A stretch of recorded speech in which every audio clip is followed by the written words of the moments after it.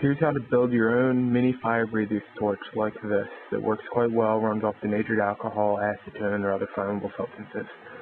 The tools you will need include a knife, I made this one out of a file, and a pair of needle nose pliers, or other pliers you can grab some. Materials you would need include a wire holder for your torch, a needle, preferably the sewing variety, thread, I chose red because it contrasts with the black cotton webbing nicely, and 8 to 12 inches of black or any other color cotton webbing.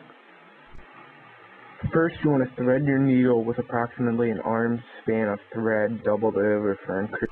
Then tightly roll your cotton webbing off. Pass the sewing needle through your cotton webbing and then pull it. Sometimes you'll need to use the pliers to pull it through as the cotton webbing can be extremely tough. Next, you want to wrap your thread around the cotton webbing until there's approximately an inch. Pass the needle through again and pull it off so that your thread is caught inside the um, cotton webbing and will not pull back out the other. Take your metal holder device thing and pass it in through the center of the cotton webbing to hold it, the webbing on secure.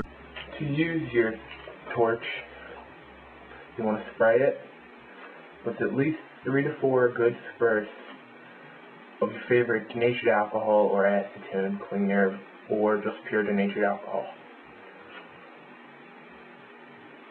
Once it is saturated fairly well, you want to take it outside because everyone knows you never do fire stuff inside.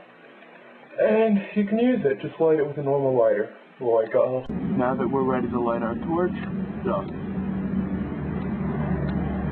just light it. And there you are. You can easily blow it out with your mouth or just submerge it in water or something else to put out fire.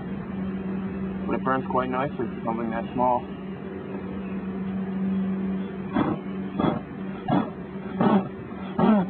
And the cotton will not burn since the alcohol burns.